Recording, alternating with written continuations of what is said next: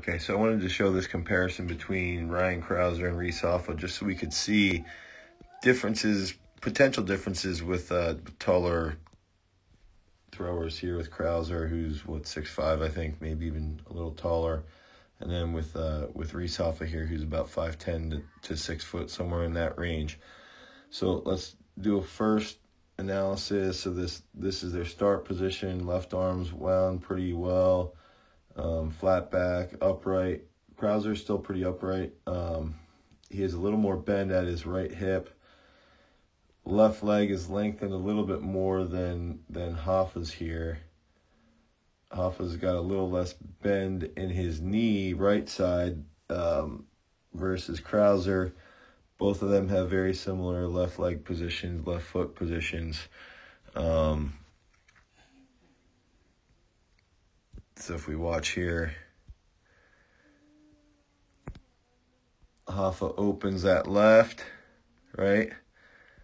So when Hoffa Hoffa moves that left open, he's still just about to pick up that right as that left's opening pretty well to the center. Left foot is past 90 degrees. And if we analyze here with, with Crouser, this would be the, the last point of his right being grounded. Left arm's very similar to, to Hoffa's here, where that left is opening to the center.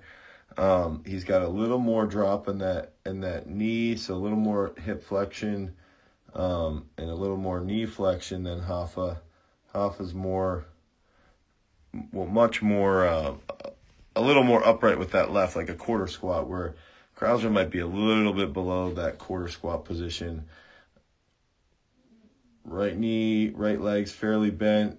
Uh, Hoffa's right is actually seems to be a little bit more bent here. Okay. Shot similar position for both of them. Now if we go to where they're dead on here. Okay. Right here. We're starting to get a long leg from that right from that right side with Hoffa. Left leg's dead center of the sector here, left knee. Crouser. Again, this this angle with Crouser is not ideal where it's not directly behind the circle like Hoffa's is, but we can, it's probably dead center, maybe a little bit to the left. Both of them, that left shoulder is opening up almost dead center with Hoffa. Crouser's left shoulder is a little bit past that left sector line. Both have the, the long, you know, long uh, right leg sweep here and that heels up on Hoffa, heels up on Crouser. Let's go right here, okay? Right here. So now we can see, we can really start to see left knees dropping a little more on Hoffa. Left shoulder, he's starting to get a little flexion in that left elbow. Crouser's left elbow is long and extended. Upper body from that left elbow to the right elbow is about there. Crouser's a little more upright, just a little bit more upright here. Okay, still both of them have that long, long right leg sweeping into the center. Let's go back to Hoffa. He's not as dorsiflexed as Crouser. He is slightly there, but not not entirely. So let's go to that contact point. Okay, so contact point, what do we see here? Both of them are fairly upright in this position. I would argue very upright in this position between the head and that left knee. Slight bend in the knee for, for Hoffa, much more bend in the knee, a little above that quarter squat position for Crouser. Now Crouser is starting to get a little more flexion in that left elbow.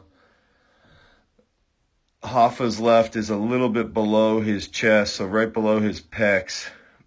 Uh, much more elbow flexion, but I'd say they're both pretty similar with their elbow flexion, actually. If we go back, you know, right, this is right where that right grounds, right here, okay? So both of them, when that right grounds, the left foot is almost past the right. Now, where is that left foot? Left foot's below the left knee joint on both of them. Okay, so the left knee, left foot is below the left knee joint. Slightly on Crouser, more pronounced on Hoffa. Okay. So let's get to contact point with that left. Okay. So now if we see with Crouser, from elbow to elbow, he's here. From elbow to elbow, Hoffa's here. A little bit steeper position for, for Hoffa here. Right foot for Hoffa's facing the back. Back here. Crouser's right foot is facing a little more to the side, a little more a little more rotation from that right knee for for Crouser. Crouser's left, his left heel is closer to grounding. It's a little bit deeper than Hoffa's. Hoffa's left is not as deep as uh, as Crouser here. Let's get where they're right inside that that right sector. Let's go right here. Okay, so right here we can see a little more extension from the right knee for Hoffa versus Crouser. Crouser's left is not as extended here as Hoffa's left is. Shoulder, shoulder and elbow are high. The gut is starting to really face the sector. Left knee is, is pretty similar for both of these, except Hoffa's left heel there, um, his left heel is, is flexed instead of being instead of being extended there, um, versus Crouser's, who's who's left heel is almost completely grounded. Now let's go to the revert the the finish point here. Okay, so shot just left his hand. He's up off of his left a little bit early. So if we go, let's go to the last position here. Okay. So in this point here, Crouser's just about to get that shot out of his hand. Hoffa still has a shot in his hand and his left is up a little bit earlier. So that's where we could sit there and say, okay, there's he's Hoffa's a little bit jumpier in comparison to, to Crouser here. Okay. Right knee is still bent, right knee is still bent, right hip is through, right hip is through. Left arm's longer, left arm is flexed a bit more here. Now if we go, what I want to pay attention to is right right here is where Hoffa's left foot is. Where does he reverse? Right to where his left foot was. So he's transferring that energy well, working forward. He reverses, and when he reverses, he kicks that leg all the way back into the center of the circle. Okay. Now, if we compare the reverses, Hoffa reverses, that heel's pretty high. Crouser reverses, that heel stays low even on the full reverse back through. So Crouser's got a little bit more control, and I believe that he's got a little bit more control because he's holding the ground a little bit longer here.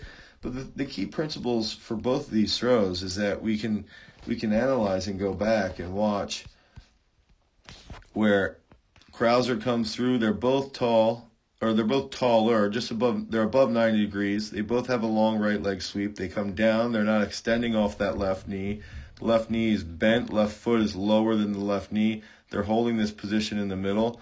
You know, that's another factor here. They're, they're both holding this position long in the middle.